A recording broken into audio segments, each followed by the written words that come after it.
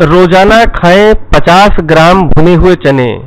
सात दिन में दिखाई देगा चमत्कार। नमस्कार दोस्तों, स्वागत है आप सभी का हमारे YouTube चैनल में। दोस्तों, आपने भुने हुए चने तो खाए ही होंगे।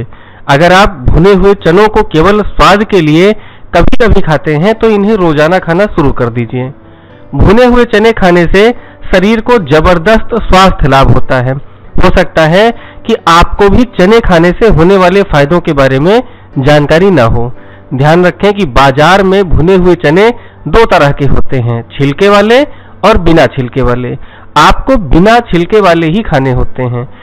चने के छिलके भी सेहत के लिए अच्छे होते हैं। भुने हुए चने को यदि सही तरीके से चबा चबा कर खाया जाए तो यह मर्दाना ताकत में बढ़ोतरी करता है। भुने हुए चने को गरीबों का बादाम भी कहा जाता है। इसमें कार्बोहाइड्रेट्स प्रोटीन, नमी, कैल्शियम, आयरन और विटामिन भरपूर मात्रा में पाया जाता है। भुने हुए चने खाने के फायदों के बारे में इस वीडियो को देखकर शायद आपके मन में यह भी सवाल उठ रहा हो कि एक स्वस्थ व्यक्ति को प्रतिदिन कितने चने खाने चाहिए। तो एक डाइटिशियन के मुताबिक एक स्वस्थ व्यक्ति को रोज़ाना 50 से 60 ग्राम चनों का सेवन करना चाहिए। यह उसकी सेहत के लिए कई तरह से फ़ायदेमंद रहता है। बात करते हैं इनके फायदों के बारे में। पहला है, बढ़ती है प्रतिरोधक क्षमता। रोज़ाना नाश्ते में या दोपहर के खाने से पहले 50 ग्राम भुने हुए चने यदि आप खाते हैं तो इससे आपके शरीर की रोग प्रतिरोधक क्षमता में इजाफा होता है।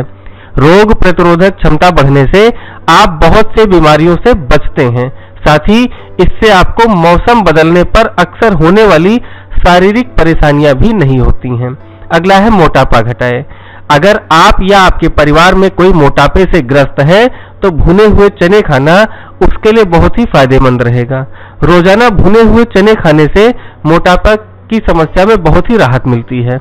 इसका सेवन शरीर से अतिरिक्त चर्बी को पिघलाने में बहुत मदद करता है। अगला है पेशाब संबंधी रोग से छुटकारा।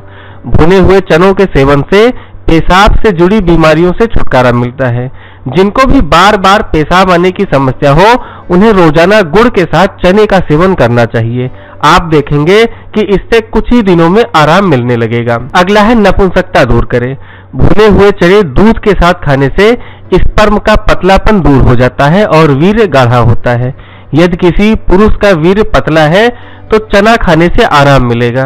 भुने चने को शहद के साथ खाने से नपुंसकता दूर हो जाती है और पुरुषत्व में वृद्धि होती है।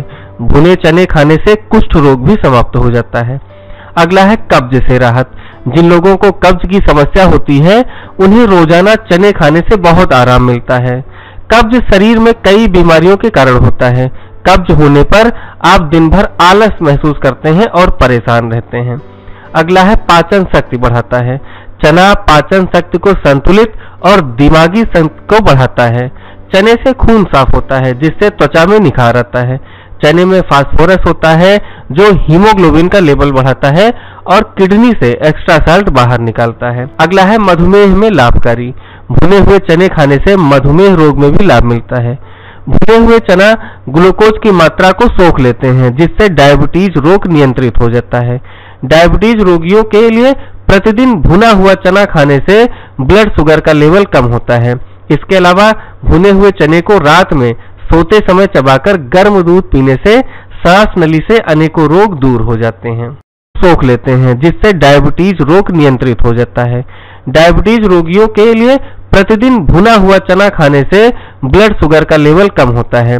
इसके अलावा भुने हुए चने को रात में सोते समय चबाकर गर्म दूध पीने से सांस नली से अनेकों रोग दूर हो जाते हैं। रोग दूर हो जाते हैं।